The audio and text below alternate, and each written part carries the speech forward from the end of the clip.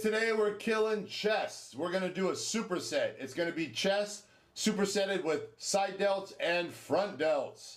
First exercise, bench press. We're gonna do bench press supersetted with shoulder press. So anytime you're